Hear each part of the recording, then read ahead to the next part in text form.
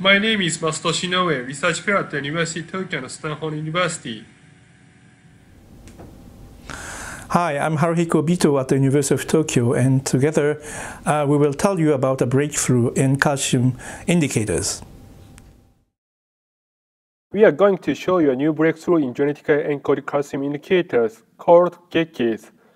Since calcium ions rapidly rush into neurons when these fire, monitoring calcium lights have been widely used to explore brain information processing at high spatial and temporal resolution. GECIs such as GCaMPs are extremely variable as they can be targeted to specific cell population and to subcell location of interest. Furthermore, GECIs are amenable to stable expression over months. However, several design challenges still remain.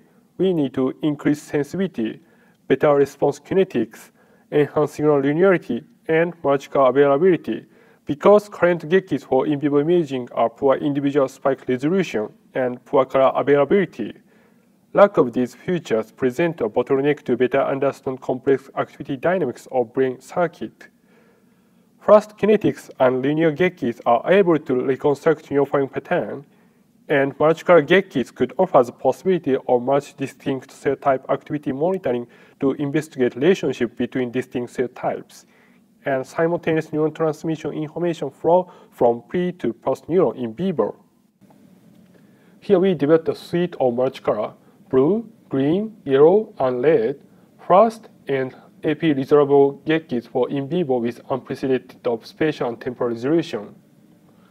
Let's now dive into the mouse brain where we expressed XCaMPs in the spatial layer of the cerebral cortex. All XCaMP indicators level recorded spontaneous calcium spikes for an extensive period of time in vivo. Taking advantage of XCaMP GF's enhanced sensitivity and fast kinetics, we next examine whether XCaMP GF might be suitable for recording functional dynamics of fast spiking PV interneurons. We performed electrode recording and fast calcium imaging simultaneously in vivo. Using spike timing estimation algorithm, here we found that estimated spike frequency from XCaMP GF imaging were matched with actual spike frequency data from cell-attached recording. XCaMP-Y is suitable for dual color imaging of tiny structures such as synapses in combination with RET-GECI using wavelength matched single two-photon imaging.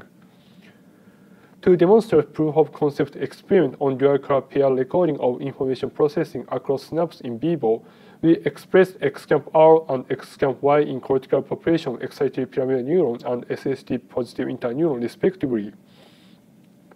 Postsynaptic calcium events were significantly suppressed in dendritic segment with adjacent axon crossover, but in neighboring dendritic segment without adjacent axons. Dendritic events were also temporarily suppressed one second before and after axon activation. We next demonstrate multiplex imaging with three distinct cell ensembles in free-moving mice using fiber photometry, which enable fast recording of cell type specific population activities through single fiber optic implant. We label PV SST positive interneuron and excited pyramid neuron in the medial prefrontal cortex with XCaMP-R, XCaMP-GF, and XCaMP-B respectively and performed object exploration tasks. Task-related spikes were recorded in all three targeted populations during investigation. We also confirmed spectral crosstalks were negligible in triple-car imaging. Fluorescent imaging with longer wavelengths has advantage of further minimizing of both the scattering of excitation light and the absorption of emission when compared with green probes. We therefore tested whether use of XCaMP-R would permit deeper imaging in vivo.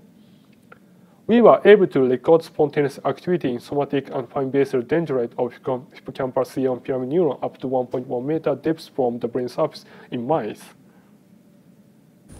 So in summary, we have here presented new and exciting avenues for recording complex brain circuit dynamics using XCaMPs.